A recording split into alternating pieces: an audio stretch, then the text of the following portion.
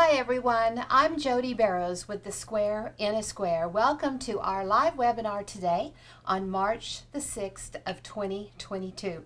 So I can see from the chat that there are people here from all over the earth and I want to say welcome to you no matter what time of the day or night it might be. Now today in our Square in a Square quilt trunk show, we're going to show small quilts. Now there is a difference between a miniature quilt and a small quilt. And the quilt world has actually, you can look it up, actually has different uh, distinctive characteristics of that quilt. And it will either fall into the miniature category or a small quilt um, category. Now, a small quilt can be just about anything from 24 inches up to about 50 inches. So that's what we're going to look at today. And we will do another trunk show uh, maybe next month, maybe in a couple of weeks, and it will be strictly on miniature quilts.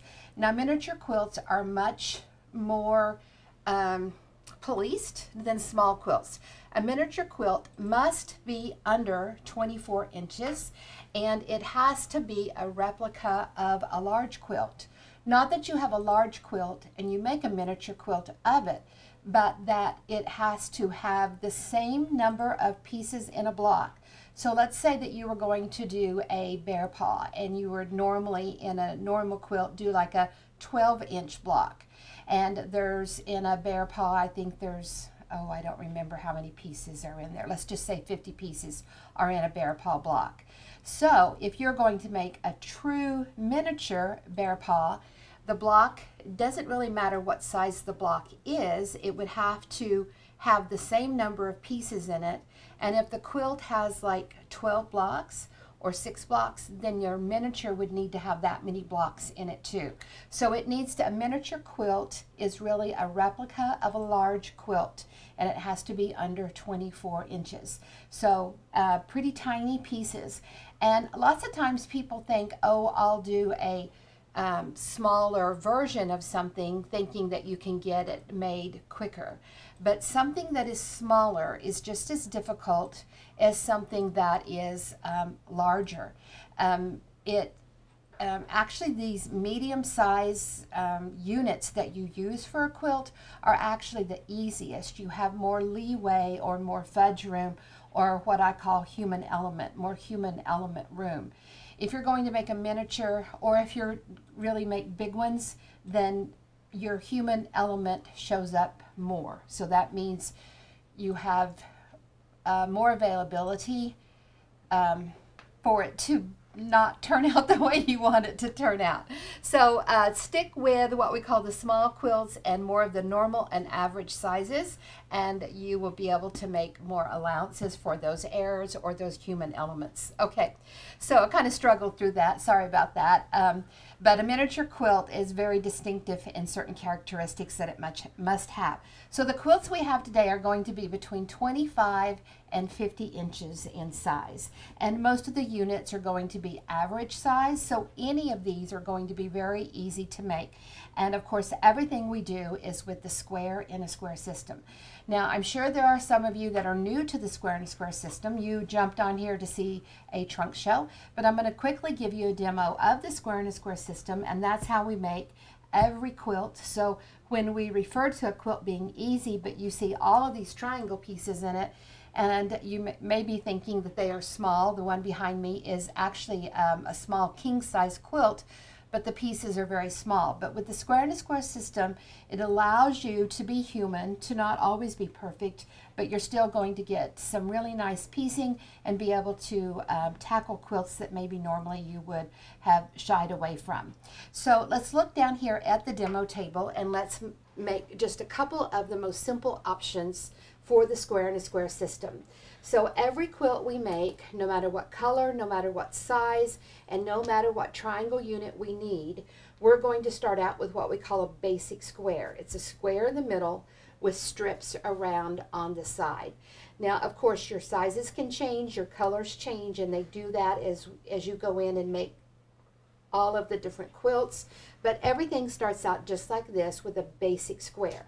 This is your square in a square ruler, And when you, this is the one that we call original. We've got some other ones that we'll talk about here um, shortly.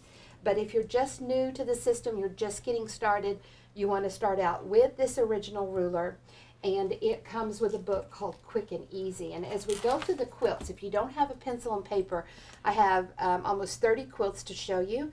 So make sure you get a pencil and paper so that I can tell you where you can find this pattern and if there's a video to go along with it or any of that, okay? So this is the original ruler. This is how it comes packaged and it comes with this quick and easy book in here. So there's, um, I think, six quilts, five of the options, and 21 different block sizes in here. So this is a great book to get started with. But we will refer to our reference book, and I'll tell you about it here shortly. So when you look at your original ruler over on the right side of it, and it doesn't matter if you're left-handed or right-handed, just turn the ruler to cut with your left hand if you're a lefty, and turn the ruler, cut with a right, if you're right-handed. So it's no difference. So when you look to the right side of the ruler, there's a 90 right here. And the first set of lines right here where they come together and touch, that's the 90. And the 90 is actually the arc that goes in between those two lines because they touch. So these, uh, what I call ripple lines that come off of each side of the 90, those uh, fall off the edge of the ruler. So um, I call them 45 because that they don't touch. If they touch, then they make the 90, okay? So we're going to put the tip of the 90 right there where those lines come together and touch. We're going to push it right into the corner or the tip of this inside fabric square. Right here where the seams are at, we want the first set of lines to line up right over the seam and it will do it on each side of the 90. And then we have this grid line right here that shoots through and goes right through that bottom corner. So here I'm talking, I always talk about push your 90 into the corner. So push it into the corner of your square, line up that grid line with the opposite corner, see how well your seams are, line it up right over the seam. And when I cut right here, this is a perfect fourth of an inch off of this point. So you can see how the human has done the cutting and the sewing and the pressing of this fabric. But now you're going to come in here with the ruler and trim it up on all four corners. And you're going to get what we call an option one. And as I go around, I also look where I've already cut to make sure that I'm staying as nice as and square um, as possible. So here you can see all four corners. This is what we call option one, and it is the square and a square. And that's why the system is called square and a square because everything starts out just like this with your basic square and then the different ways you trim it up you get different triangle units and this one is option one so normally when you make this block the square in a square you have to cut a perfect square and then cut perfect triangles. And then you have to find the perfect middle of this perfect triangle and match it up to the perfect middle of this perfect square that you cut. And then sew a perfect fourth of an inch seam and repeat that for all four sides. And then if you've done all that perfect as a human, then you're going to get that nice perfect fourth of an inch seam allowance. But with the square and a square system, we can just sew these up very, very quickly. And when we come in to trim, we're going to get that perfect fourth of an inch, even if we weren't perfect when we did our cutting or our sewing or our pressing. Okay, so that's the option one. And we're going to go ahead and jump over here to the Christmas quilt. This little quilt here is all made from option ones.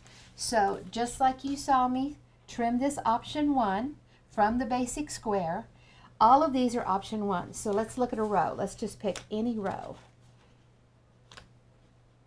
So here you can see in this row of our Christmas tree, you see an option one, an option one, an option one, an option one, an option one. Now the colors for the center changed and the colors for the strips changed. All four sides stayed the same color. We didn't mix up the color on the strips when we put it around and that made our row here. Now I also want you to look at the outside edge, not only of this row, but of the other rows because this is an option one also. So here you can see the square in the middle. We put red strips on two sides, We put the same background color on the other two. It's still an option one. I don't know how well you can see the seams right here, but it's still an option one. We just switched up our colors. So as you get to these nice outside edges here, they're still option ones, square in the middle, red on two sides, background on two sides. So you're still, so what that means is that when you're sewing your rows together, all your units are the same. And it makes it very easy and very simple to put together. And then when you stack the rows up on top of each other, then you have this beautiful uh, Christmas tree. And this Christmas tree in this size is actually a free pattern on our website. Just go to squareinaSquare.com and you can have the, the pattern and get started um, with your ruler and have a beautiful little quilt. Now another thing that I love about this little Christmas tree is if in the center of each one of these you have 25 so you can do this as a um, advent calendar in the 25 day countdown to Christmas. So what you would do is you would take a ribbon and tack the middle of the ribbon right into the middle of the square. And uh, each day you can get a little charm or a little Christmas ornament, thread it on that ribbon, tie in a little bow, and decorate your tree. And it's a great thing to do if you've got little kids or grandkids too. And down here at the bottom, you can see these beautiful little packages that we put along the bottom. And these are just option three flying geese. And that's going to be the next one we make. So let's jump over here to our demo table. And let's make a, a flying goose. Now on the very first one, option one, you know we trimmed leaving a fourth of an inch on all four corners. Now to make our flying geese, we're going to have to trim a fourth of an inch on two opposite, but we're going to go right up to the tip we're not going to have this fourth of an inch trim on the other two because we're going to cut it in half and get our two perfect flying geese. So let's trim our 90. Let's trim those two 90s first. And those have to be on opposite sides. So we're just going to flip it. And do the two opposite sides. Then on the other two sides, we're going to go right up to the tip. Now when we started today, I talked about these ripple lines that come off. So we're going to put the 90 in there and then we're going to step over two ripple lines. We call it the Texas two-step because we're stepping over two. And it doesn't matter if you go to the left or to the right of the 90. So here's our 90 put in there just like we've done on everything. And I'm just going to slide it over one, two, and I want the tip of the line to be right there in the tip of the square.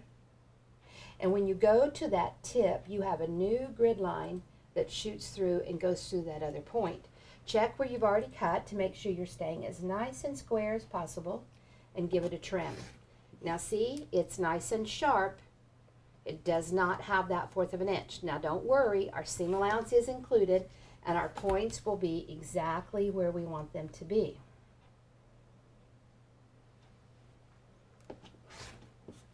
Now, where you've trimmed it nice and sharp right up to the tip, that's where you're just going to take your ruler and just go right through that sharp point.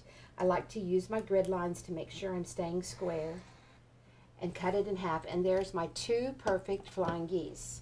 So if I wanted to make a star, you're going to see a lot of stars today. You can put four of them together or traditional flying geese, one going right after the other. Now, when you come in here and you sew a fourth of an inch here and a fourth of an inch here. Here's your point right here exactly where it needs to be.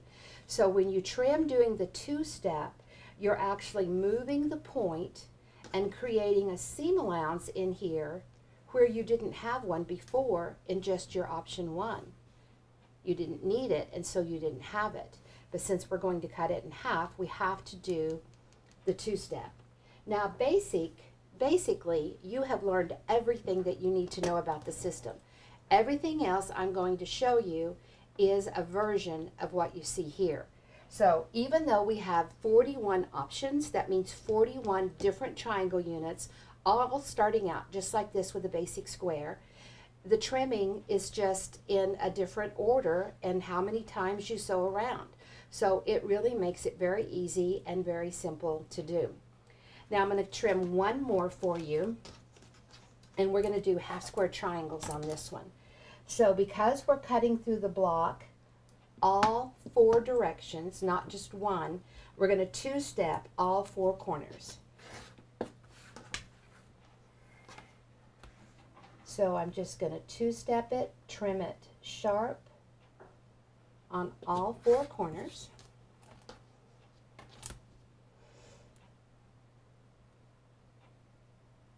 And make sure you're staying as square as possible. So really look where you've already cut to make sure your outside is staying square. And if you ever have to choose the um, inside lines or the outside lines, once you start making your cut, the most important part is the outside. Of course, your seam allowance and the outside edge. Okay, so here we've gone right up to the tip on all four corners. And now we're just going to come in here and cut right through the middle, one direction. Be careful for it not to move. Don't let your fabric move. Turn your mat or get a rotating mat or something. Cut through the other direction. And I have four perfect half square triangles. I have no dog ears to trim off. Everything is square and flush and neat and nice. I didn't have a lot of prep to get ready for them and now they're ready to go into any quilt that I want to make. So if I want to do a bear paw, then I'm just going to sew them together like this and have a small square and a big square. If I want a uh, pinwheel, then I just sew them together like this for my pinwheel. And that's option four, half square triangles. So these are the main units um, of the the square options, and then we also have diamond options, and we'll look at some of those at the end today. So now that you know how easy these are to make, let's go back over to our quilts, and they're going to become much easier to make when you look at them, knowing how we make them, than the traditional way of piecing, putting, cutting out triangles and trying to sew them together and then squaring them up or, or whatever. So this next one here um, is just a small quilt. It's not um, a pattern that I have. It's actually a friendship quilt. And um, there's some different names over here of different friends. When we when I moved from Kansas to Texas over 20 years ago, our little sewing group uh, made the quilt. So it's just a nine patch in the middle and three strips like a split rail and then you've got room for different names and signatures in the block. Now we're going to talk a little bit about color today as we look at the quilts. If there's something that I really want you to see that has to do with color, then I'll point it out. Now on this one, the blocks, very simple blocks, but they put them on point. So if you put a block on point, that means you have these side triangles and these corner triangles. And notice how those were done in a darker color. So it actually creates a frame and becomes part of a border and part of the inside part of the quilt. And then the red check is on here because red check is the one piece of fabric that you can never run out of and one of my favorites. This next one is Americana, and these are a three inch star. And then we have a strata of strips, and there's four. So once again, let's look at a row of how it's put together. Because this quilt is so very simple, no matter what size you're making. Now, it comes from the Americana pattern, and the Americana pattern looks like this. And it has two completed quilt patterns in it. So one that is this size with the three inch star and then another one that is a six. But it has eight additional sizes in here. So you can make your star a three inch a four inch a five inch a six a seven and eight a nine a 10 inch an 11 or a 12 inch and all of those different sizes are included here in your pattern so if you decide you want a different size of star than what we have in the two patterns, you can still follow along with how you construct the quilt, but you'll go to the other size that you're looking for. So you get a lot more than just um, what I'm going to say is simple pattern.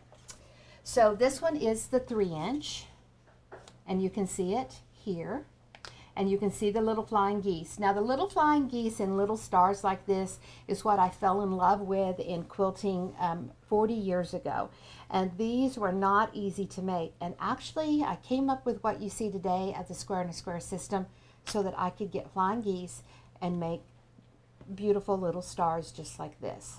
Now in this color combo, uh, the colors are very um, distinct between each other. There's a very definite light and dark. The light is all the same. And when I work with scrap quilts, I like to do what I call organized scrap quilts.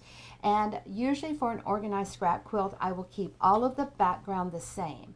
That way the um, colors in the quilt don't get too busy. And of course, I kept everything in the star blue. I kept the, the traditional red, white, and blue in this particular one. Now on the, the large quilt here behind me, I want you to notice that it is exactly the same as the little red, white, and blue one that I showed you. This one took me about 18 months. I always have a scrap quilt that I'm working on. So as I work on projects, I know that when I have leftover scraps that I can cut them into certain sizes of strips or squares and they will go into the scrap quilt that I'm working on or they go into a different section. But I always have a scrap quilt I'm working on. And when I'm maybe in between projects or I want something that's just kind of relaxed, then I go to my project that is my scrap quilt. They're always what I call simple quilts, brainless quilts, mindless quilts, uh, projects that you can just set down and work on. Now the strata of strips are one and a fourth. That means it sews down to three-fourths of an inch. Now you really can't go very much smaller than that or everything is behind the quilt in the seams. So one thing if you think about making a large quilt in a smaller size, you need to remember that you've got a lot of seams close together, which means you have a lot of fabric on the back. So this quilt is very, very heavy because it's like you've got a layer of fabric behind the top um, that adds a lot of weight to it because you have small pieces and a lot of seams. And you can see how that my backgrounds were different. I did try to keep a good contrast between the colors so that the stars and stripes would show up. But my backgrounds are a lot of different colors and my stars are a lot of different um, colors. So a great way to use up small pieces or small strips or small stratas. And I, like I said, I love stars, so I, I have a lot of star quilts, and I have, I love this Americana, and so I, I have done it in lots of different colors. So let's check this one out. So this one here, we kept it with the black and kind of the gold color. All of the star centers are the same, a little black check. All of the strata of strips are either the black uh, words or the, the black um, tone on tone. And the background is the little gold star or the, the words and then the, the two different blocks I used were for the points that we used to go around. Now we also have this one that is kind of a lighter one. And you can notice when you use it for your points that it gives the stars kind of that twinkle look because you see the dark parts of the stars popping up before that um, little black flag one on here. This one I really love. And even though it's just the black and gold, notice how I did a flange right here in the border. And it's red, so it gave it just a little pop of color with that red flange in the border. And um, all of this was either my Abe Lincoln fabric or my Pony Express fabric, which was out in um, around 09. And then here you can see the bigger star piece on the back. Now the next one is the same. It's the Americana in the three inch size, very scrappy. And you know when you put strata of strips together and you cut them out for the length that you want them to be, you're going to have some little pieces left over. So notice how I did uh, those little pieces in the smaller squares and that was an added border that went all the way around. So I really like to look at my quilts. I like to make them and I like to go back in and grab all of my little pieces or scraps to help decide what I want to do with the border. Now I think all of this is the Abe Lincoln fabric. It all comes from the Abe Lincoln fabric And but notice in this one how the background was all the same. And it's kind of a, it's a light, but it would be what I would call a dark light because it reacts as a darker than um, just a true light. Now because the background was a little bit darker, look how it allowed me to go in and actually use a light color for the points on some of these stars. And if my background had been light, then I could not have used uh, these fabrics in, in the quilt.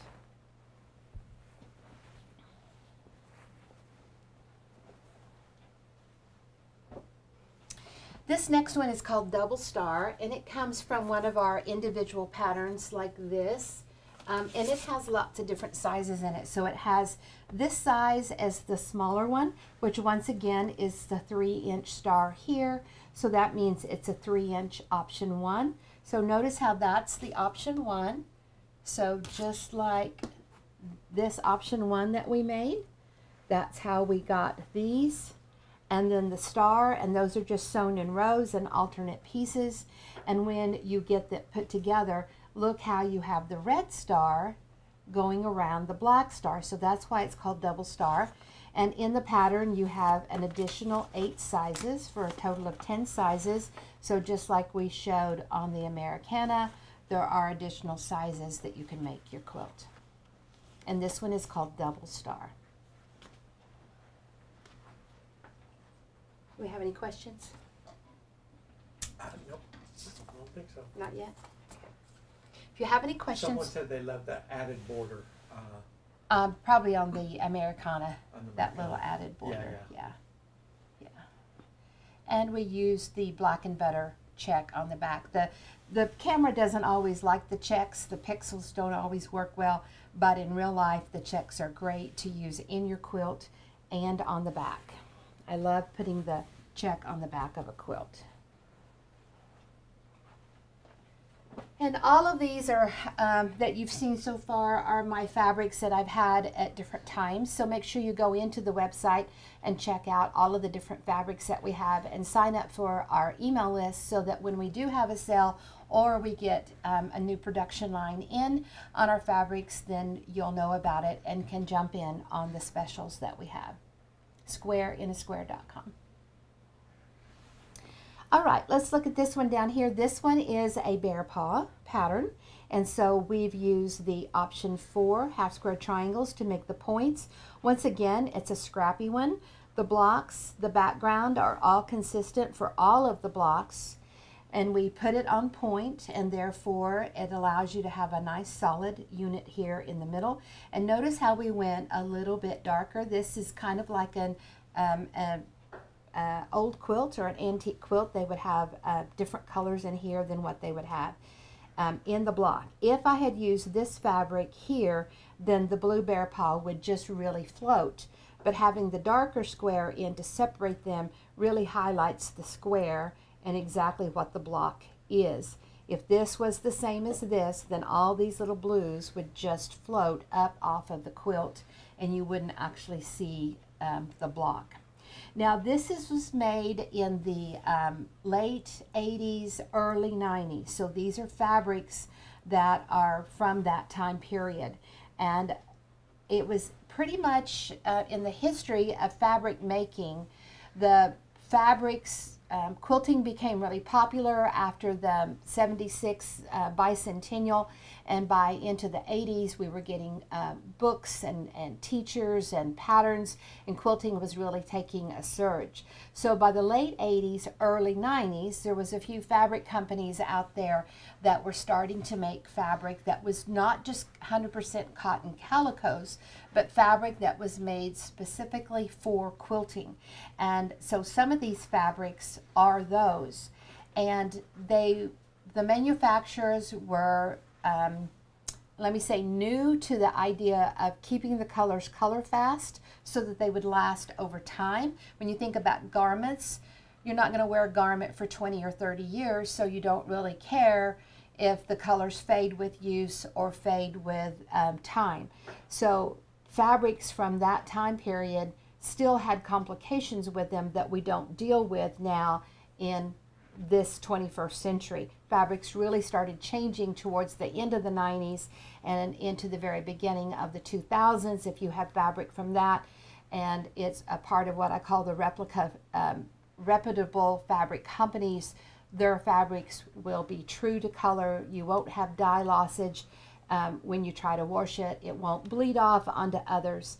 So I still have some old fabric in my stash. In fact, I still have quite a bit of what I called old fabric, which is pre 1990.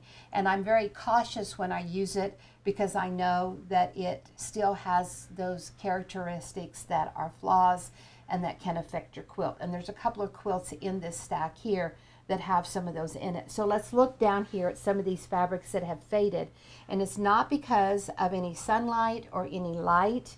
It's just because the fabric was aging and it wasn't um, as color fast as it should be.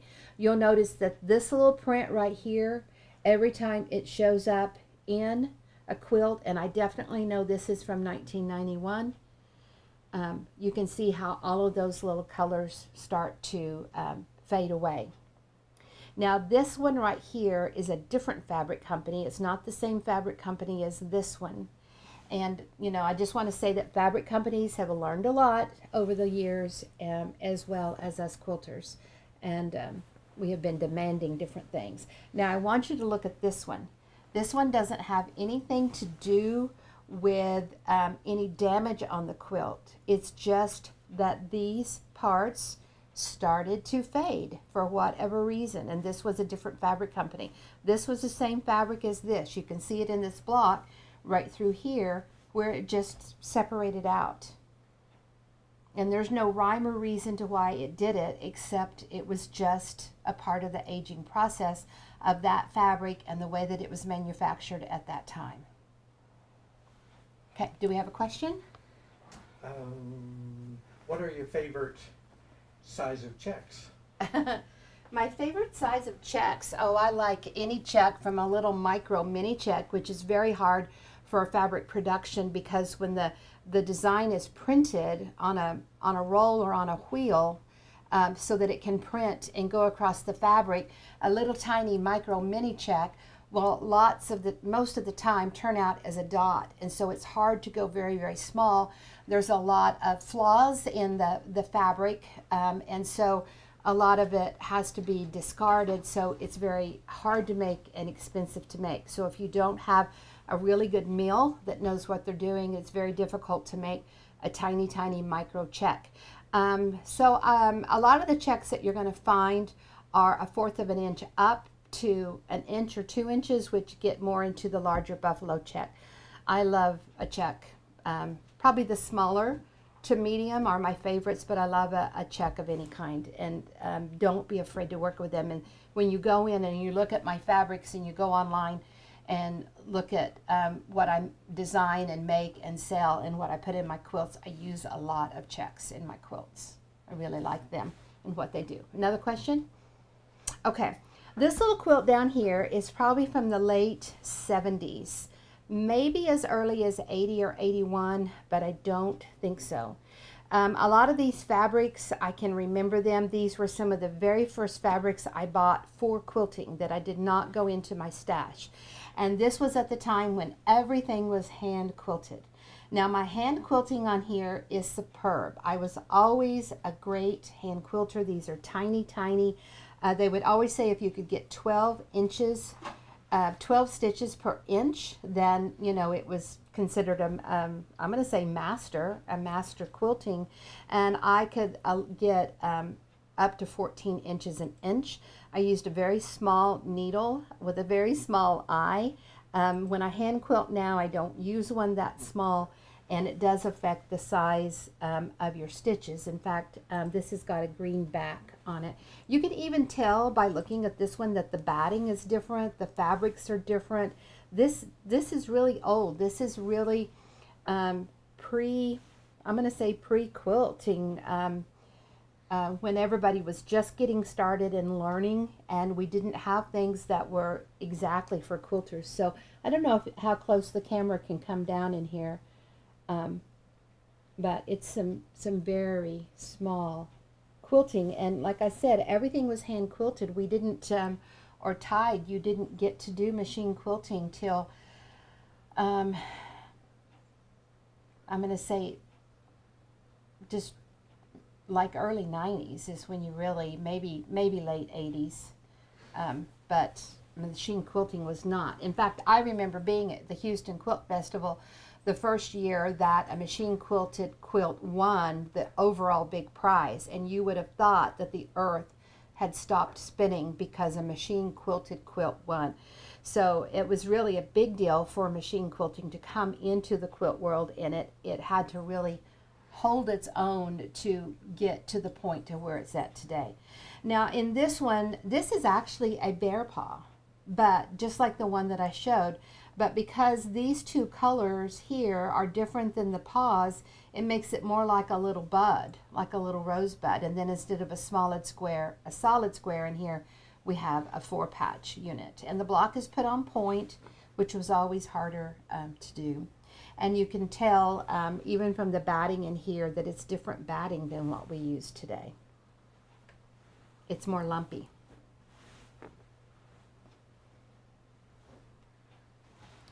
All right, this one here is from our reference book one. And the reference book one, if you don't have it, this is, I highly recommend that you get the reference book. It has charts it, in it. It has the first 17 options. This is the one that deals with the square. So that means that it tells you everything you need to know. It's your reference book for the basic square, meaning square in the middle, strips on the side, and then the different options, which are the first 17 options that you trim from that. So it's going to have your options and then it has your charts so that you can go in and do your own thing and make your own sizing. Um, it seems like every class I teach, I refer back to a page in this book to go back in and look at this chart, look at that chart. And then we've also given you multiple sizes of blocks. So if you like the quilt, but you want to make it in a different size, then we have over 50 sizes in here for you for the project. So highly recommend the um, Square and a Square reference book. And we'll refer back to that one a lot. Now this one is called um, Moody Blues. And we use half square triangles. And so this was all just done scrappy. So that means that the background was kept consistent in the center and the strips that we put on the side was just any blue. So any of these blues, a stripe, a star, a little print, a check, a little Columbia blue, just any little uh, blue print, just any blue. And then the ways, the different ways that you turn them. So the bottom row would have the darker color coming out in the points and going up here to make the star. And then this was the pinwheels from the half square triangles. And when you use the dark in the corner and it goes out, it creates a little bit of a um, circle look or octagon shape.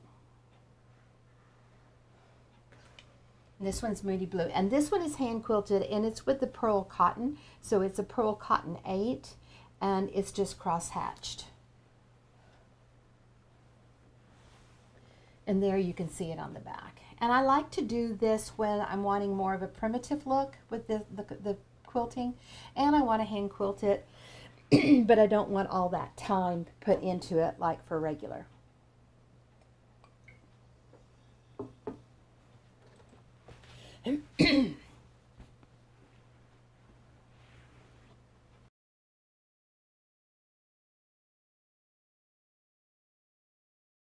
All right, so this is uh, the same pattern as the blue one. It's just done with Scrappy. It's done smaller.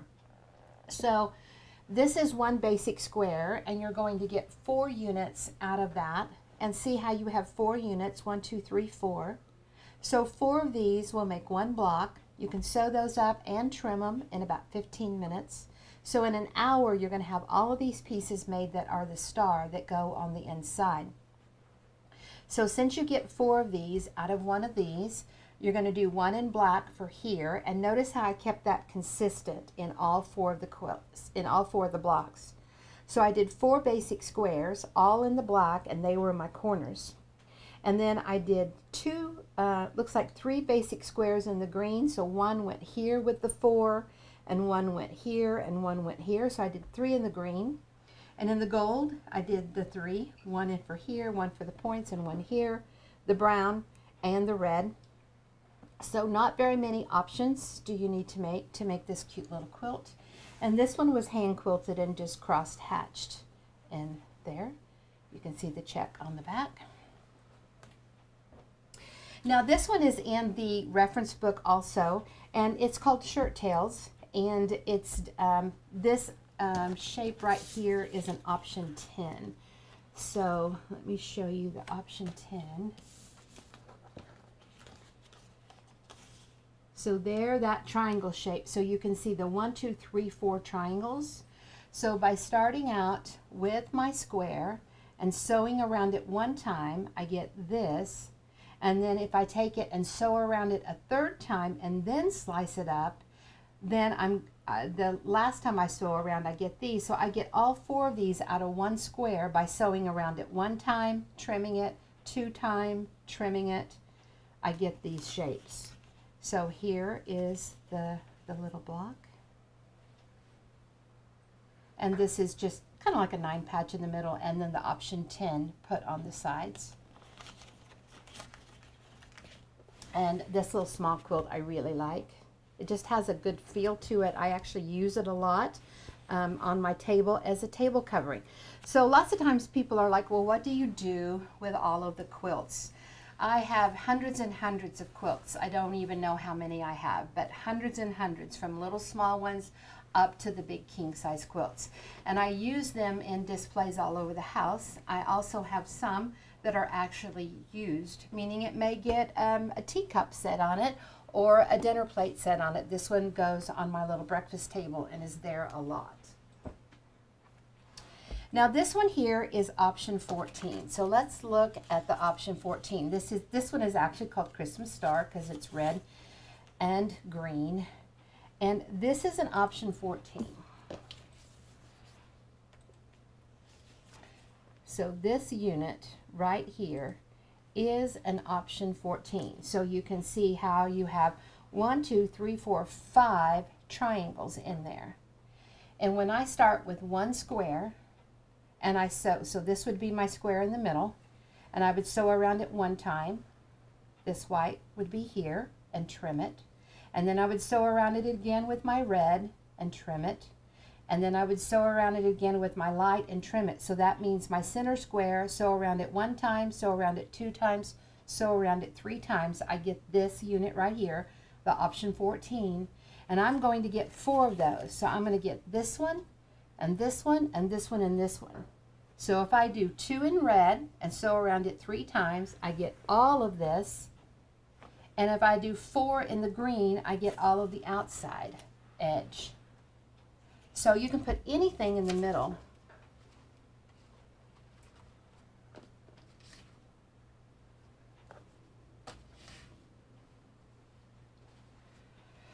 So this one here is a little bit of the process of making your option 14. So you can see how this was my square in the middle. I trimmed it like I did for my half square triangles, which means I did the two-step on all four corners. So that means when you come back in here and sew it around it again for the next time, see this blunted edge in here? That's good, that's what you want because you're creating this little blunt edge right here is your seam allowance right here that you're creating when you get it into its final stage because you'll need a fourth of an inch seam going all the way around it so you need those points to be kind of backed off inside here. So this time when I sew around it, I leave the fourth of an inch.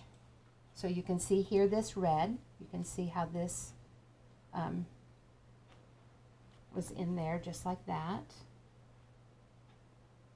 And you can see how this fourth of an inch is what you need so that when you sew around it this next time with the red, your point is exactly where you need it to be. Now because you two-stepped here, you're going to two-step here because look how you're cutting through those and you need those points to be the same. So let's flip over here on the back. So here you can see, so here you can see the option 14, just like that. And all we did is just kind of turn them like a pinwheel and look at that beautiful block, just like that, just from this option 14. I love 14. Oh, and the borders that you can do with it. I mean, just great flip-flop borders. And it looks like you've gone to a lot of trouble to create all this piecing, but you really, you really haven't.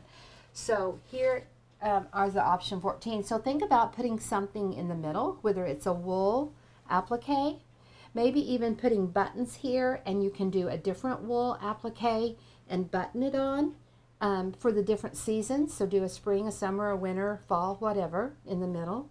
And you can change it out if you, you know, had it hanging on the wall. But look at this one. This one is very similar. Um, but look how it used an applique in the middle and then use some uh, extravagant half square triangle points and blocks to go around on the outside edge. This one is not my pattern, so I can't refer you to wherever this one is. But it's very easy to do with mine and then just put any design in the middle that you want. And this one I use as a table topper.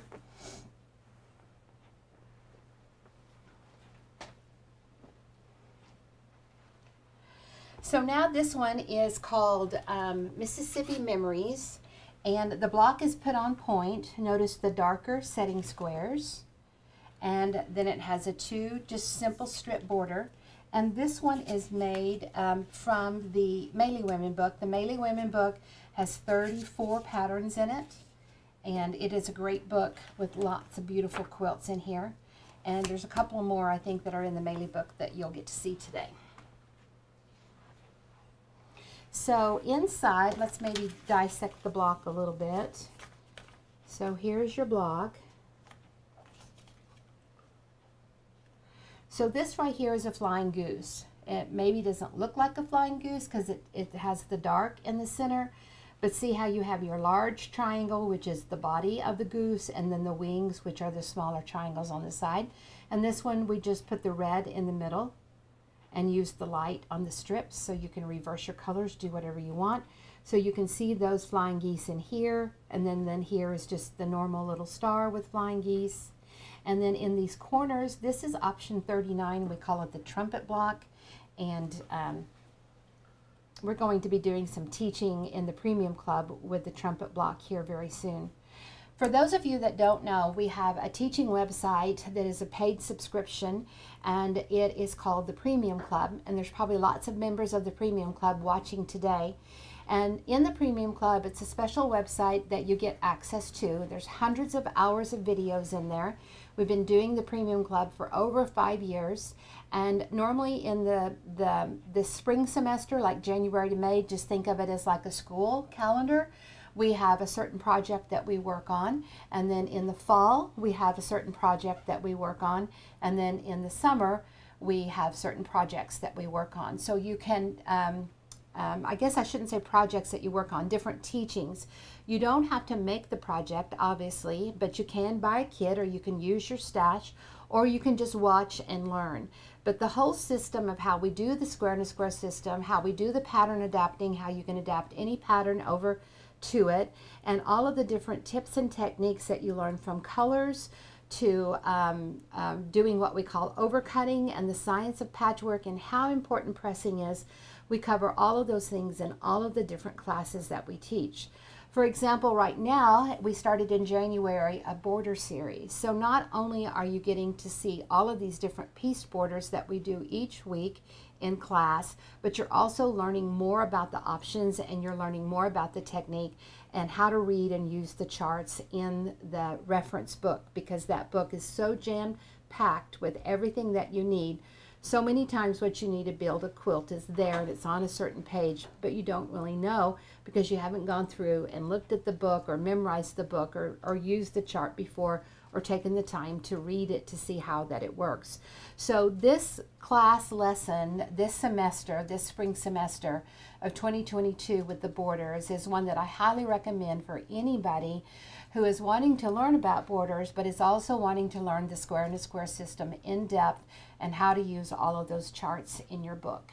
And so I highly recommend that you go in and do it. You can buy the classes individually or the semester individually, or if you become a premium member, then all of those things are in the premium member portal and you can go in and of course watch them as many times as you want and for as long as you want, as long as you're a member, just like with any subscription, like with a Netflix or whatever, there is either a monthly or a yearly fee to go in and to do all that. So the option 39 is something that uh, we're going to be doing in the Premium Club possibly this summer. Um, I'm toying with that a little bit this summer, but coming up soon.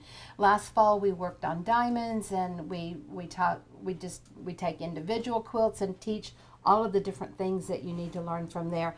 But it's not just um, probably for those of you that don't know Square and a Square or don't know about Premium Club, it's not just about the project. It's about learning the system, about improving your skills, um, I love it when I get emails like this. It says, I've been quilting for 30 years and I've learned more in the six months that I've been a premium club member that I have in all of those 30 years. So that um, reference, that email that came in probably sums it up um, pretty much is the you want to up your game, become a better piecer, actually figure out the human element and how you can improve on your piecing and your skills is uh, really exciting to do that and that is something that we we do and teach and have fun with in the premium club. Now we also are going to have uh, there's two special things that we do um, um, within our business or within our teaching is we do a retreat in the spring and this year is our first year for the retreat and we are calling it our mother's day retreat it's from may 4th which is a wednesday to i think the 8th which is a sunday and so Wednesday we come in, we sew um, Thursday, Friday, Saturday all day. So you get three big long days, all of our food. It's a brand new retreat center that's here in uh, North Texas. It's easy to come in. If you're flying, you can fly into the airport. Now, you work on any Square and a Square project you want. You can either bring something that you've got or you can purchase one of our kits. You can look on the website and do that. Uh, if you have projects that you want to adapt over to the Square in a Square system, you can bring those. There'll be me plus three other Square in a Square teachers there, and we'll be there to help you with the project that you want to work on and to help teach you learn more about the square in a square system. So, of course, we've got um, some games. Um, there'll be um, little mini teachings every day. There'll be lectures every night.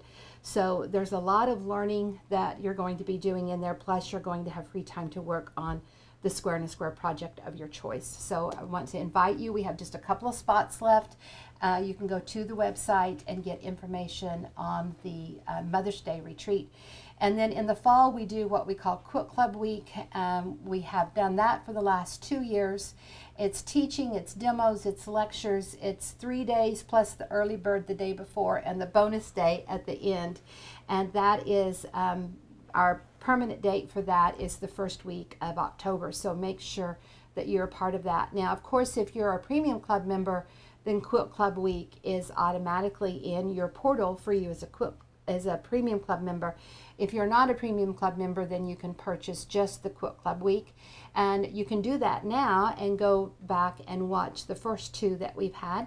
Um, and um, then as we get closer to October, then we'll tell you about the new one. But those are the um, two big projects that we do. I used to be on the road all the time, uh, maybe only being home 50 days to 80 days a year. And I'm, I'm obviously the world has changed and I'm just not um, on the road that much. So the retreat is a great way to come if you want in person, and the Quilt Club Week is a great, great way to be a part of what we do and to do all of that online. Any questions from anyone? Nope. Okay, let's look at some of these. We've got a couple of quilts here to finish up on, and then I've got a couple over here I want to show you. Now, this one here is um, starts out with a diamond. So let's normally you have a square in the middle and you sew around it and trim it up, but here you're going to start out with a diamond in the middle. And you're going to sew around it with the yellow and trim it up, leave the fourth of an inch. Your ruler has um, other angles on here. It has a 60. Let me get it to where there's not a glare on it. Well, let's go back to this camera over here. Okay, so there's a 90 on it that we use with the square. There's a 60 and the 120 on it that we use with the diamond shapes. And um, you just lay there on the ruler on there and trim it up just like you do it with the square. So here you can see the first one with the yellow here. And then you can see where we went around it the second time with the red and then with the lighter shade here. So these are just squares. This is your options, um, your diamond shape. It's option 21. So you can see how you just get this square and then you sew all of these squares together, all of your big options together, and there's your beautiful quilt. And I just love this one. This one's called Pathway to the Stars. It's in your diamond book, which is reference. It's, it's a reference book. It's book two. And um, you can just see all these little yellow pathways that go through the quilt or the little yellow stars. Very, very simple. It's a great one to start with.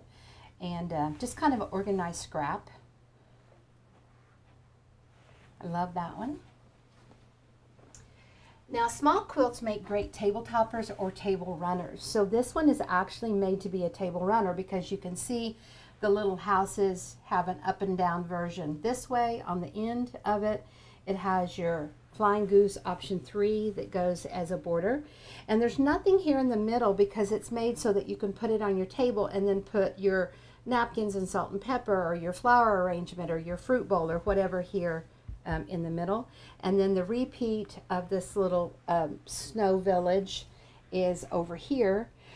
So I'm going to turn it where we can see it and actually look at the little snow village. Now all of these are just little square and square pieces. We did not paper piece any of this and you can see how small it is. So we've got different trees. These are from the diamond shapes. We've got different rooftops. Um, some of these are from the diamond shape. We have a little snowman here. It may not show out on the camera very well, but a little snowman with a little hat. So you have like a school and a church and the playground where the kids made the snowman and then the flag um, there. So a cute little table topper.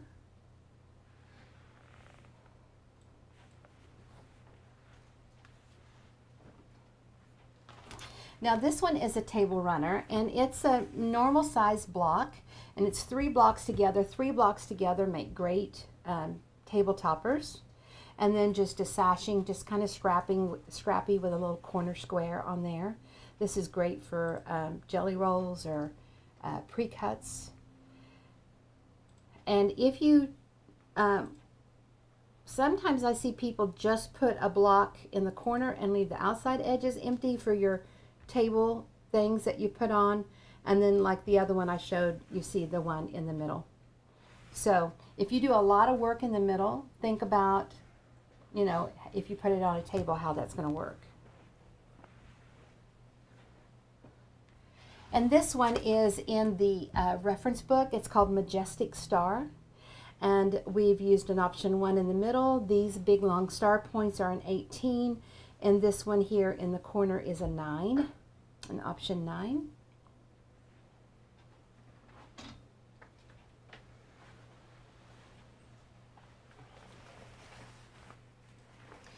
And I'm going to put some of these up here on the back wall. This one is a Storm at Sea. And in the Storm at Sea quilt, you have an option 7, an option one, and those repeat. And then in the other row, you have an option two, meaning that you sew around it twice. And the same option seven that is horizontal is now vertical. And then we've also used that in the border. Beautiful quilt.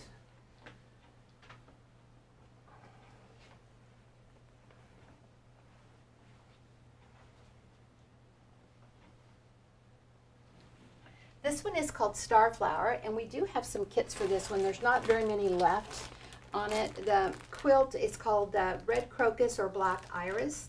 It's 40 by 40. Your backing, your binding, your pattern is all included, and it's $99. And we do have a couple of those kits on the website.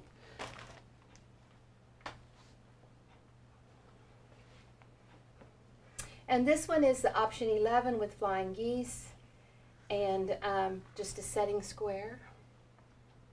Really pretty. And because the setting blocks are the same color, you can see how these just kind of float. You don't really see the block on here, you just see the color kind of floating out on there everywhere. This one is called Weather Vane. And it is made from the option um, 11. So here you can see how this was our square in the center. We sew around it with the strips the first time. We trim leaving the fourth of an inch.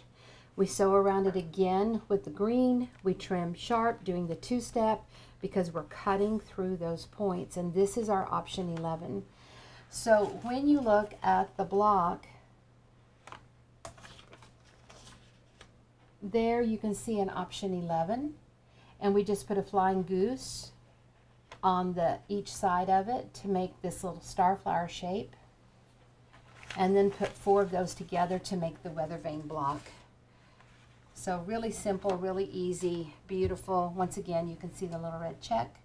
Very easy, fun block to make.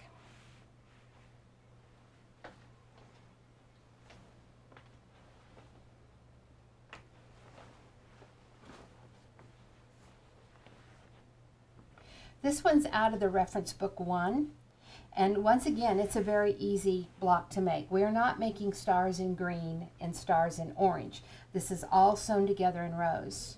So here you can see that diamond shape standing up with a solid square next to it. And here you can see it laying down with a solid square next to it. So this one is very, very easy to do with the option seven, which is this piece right here, diamond in the middle, orange and green. So it's just like this, but instead of a square in the middle, it has the diamond shape in the middle. And you use your ruler to trim it up and you get that whole shape. So it's very clean, very nice, very neat. Seam allowance is exactly where you need them to be. This one is Buzzsaw, and it, um, if you go to the website, look for the hurricane pattern and the hexie star and the buzz saw. No paper piecing, just just pieced with the square and a square system. Very easy to do.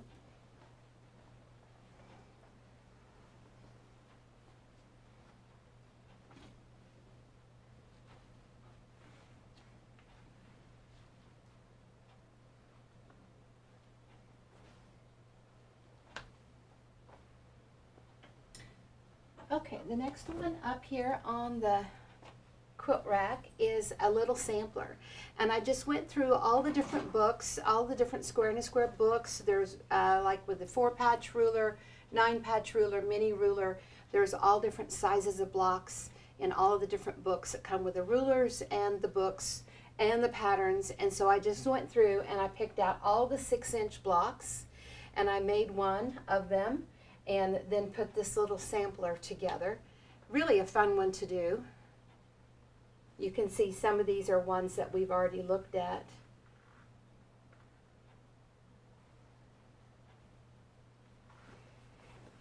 And this one comes with the, in the book with the nine patch. So all of these are just nice small quilts. Now you might, when you look at this, um, see a nine patch and four triangles put together. But this is the option. Instead of having a plain square in the middle, like we started with, we just put a nine patch in the middle. Surrounded it with our strips, and every time you have a strip, you're going to get that triangle shape. So these triangles were the strips that you sew around the nine patch. And then you just sew those in rows. So normally that would be a quilt that would be pretty time to make.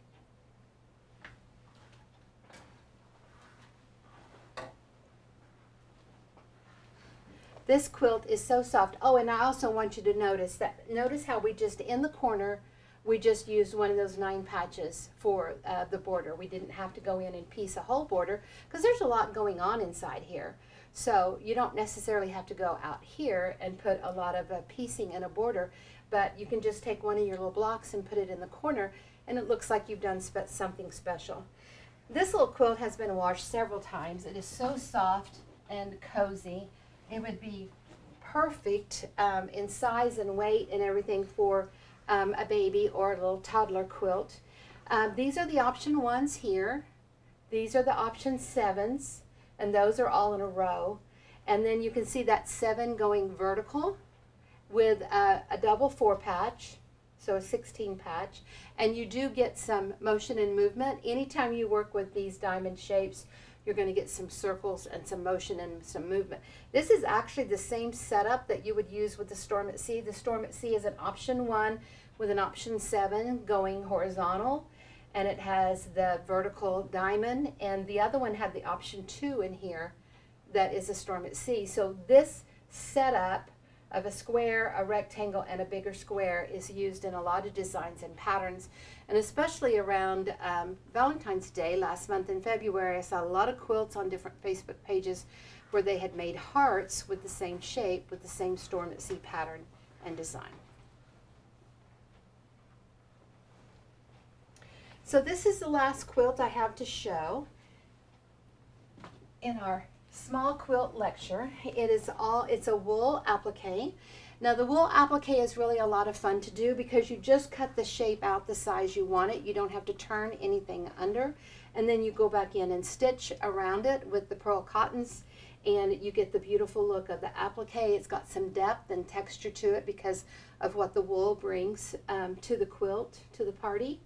And then this one was hand quilted in the pearl cotton.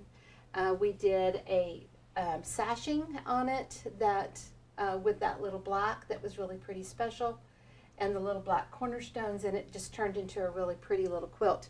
I actually made this quilt to go over the fireplace of our house back about 20 years ago and um, it was over the fireplace for a long time and we moved and the quilt hung in our bedroom and now I've done a little bit of different things in there and so it's uh, now moved to a stack of quilts so uh, it's still on display the way that it's folded and it's put in my office. You can still see it and enjoy it.